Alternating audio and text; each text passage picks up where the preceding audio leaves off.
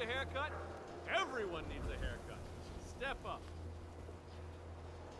For your hair, I'm thinking highlights. Or we could try a short shave on the sides. Or maybe some braids. Uh,